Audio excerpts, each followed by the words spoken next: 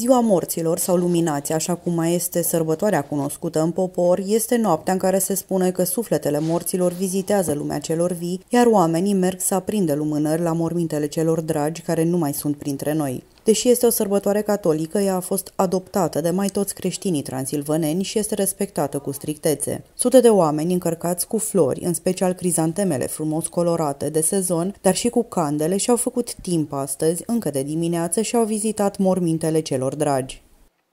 Mormântul lui soțul meu și al părinților mei. Aici e soțul și mai încolo a părinților mei.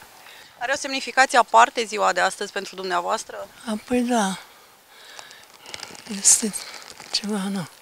Vă aduceți aminte de cei dragi? Da, de un an am murit soțul și părinții mai de mult. Indiferent de religie, în această zi sfântă, credincioșii merg cu flori și lumânări aprinse în cimitire, curăță mormintele și le înfrumusețează în amintirea celor care i-au însoțit pe drumul vieții. Mormintele se împodobesc cu flori, în special crizanteme și coronițe de brad, iar lumânările se așează pe mormânt pentru ca acestea să le lumineze calea celor care au trecut în neființă. Și în acest an vânzările au mers strună pentru comercianții de flori. Cum merg uh, vânzările astăzi? Văd că aveți și candele și flori. Foarte, foarte bine, cumpără, mai avem foarte puține și le terminăm. A fost un an bun. Sperăm să fie și la anul la fel.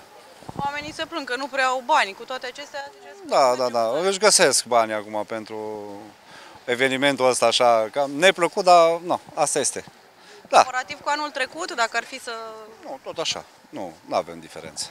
Florarii și-au scos pe tarabe cele mai frumoase flori și aranjamente realizate din tot felul de flori frumos colorate, care au fost pentru toate buzunarele.